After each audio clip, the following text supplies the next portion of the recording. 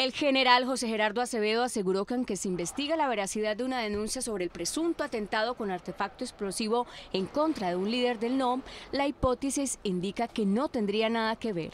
Lo que conocemos inicialmente es que allí a las 3 de la mañana eh, eh, se explosionó una papa explosiva eh, y se lanzó pintura sobre una casa.